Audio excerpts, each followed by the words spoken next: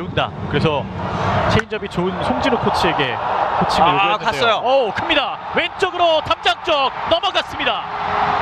체인점을 잘 배운다. 그래서 체인점이 좋은 송진우 코치를 잘 배운다. 그래서 체인